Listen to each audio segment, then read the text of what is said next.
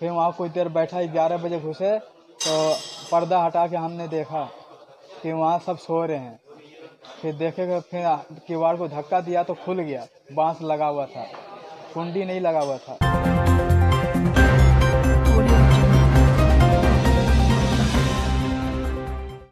मेरा नाम है नजीरुद्दीन। कैसे घटना को अंजाम दिया क्यों दिया? मैं बराबर उधर आता जाता था। उधर थोड़ा और आगे मैं काम करने जाता था लेबरी तो मेरी नज़र वहाँ थी।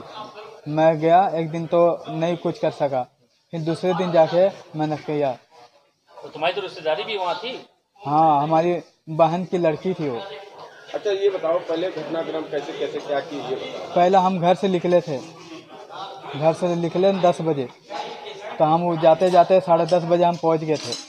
फिर वहाँ कुछ देर बैठा ग्यारह बजे घुसे। तो पर्दा हटा के हमने देखा कि वहाँ सब सो रहे हैं। फिर देखे फिर किवाड़ को धक्का दिया तो खुल गया, बाँस लगा हुआ था, कुंडी नहीं लगा हुआ था। तो जैसे हम घुसे तो बाँस गिर गया। तो आदमी उठा, हम ईंटा लेके घुसे हुए थे। ईंटा से हम दो बार उसको मारे आदमी को। फिर आदमी, औरत भी जग गई, फिर उसको भी हम दो बार मारे।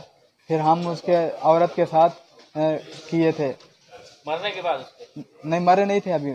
हाँ छटपटा रही थी कर रही थी मरी नहीं थी जब हम कर रहे थे। कई बार किए थे दो बार किए थे हम। और बच्ची के साथ? बच्ची के साथ एक बार।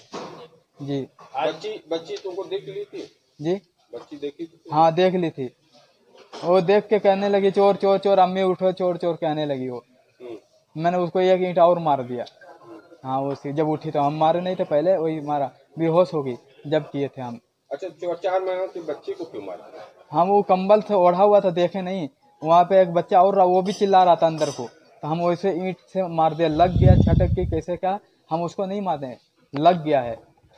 तुमको शर्म नहीं आई इस तरीके का कृत्य कर रहे हो? बस मुझे पता नहीं क्या हो गया था अब क्षमा चाहता हूँ मुझे तुम तो पहले से प्लान करके आए थे। जी हाँ घर से निकला था ये। काम करने के लिए निकला था ये जान मारने के लिए नहीं निकला था मैं।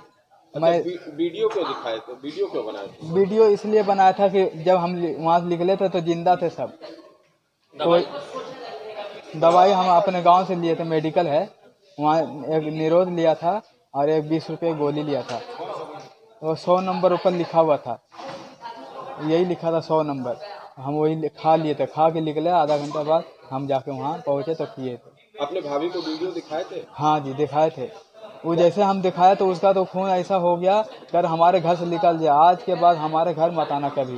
तो मोबाइल क्या किए वो मोबाइल हमारी भाभी ने बोला कि इसको चाहे तोड़ के फेंक दो चाहे नदी में फेंक दो। तो हम नदी में ले को देखने के लिए लाल रंग की बटन को दबाकर चैनल को सब्सक्राइब ज़रूर करें।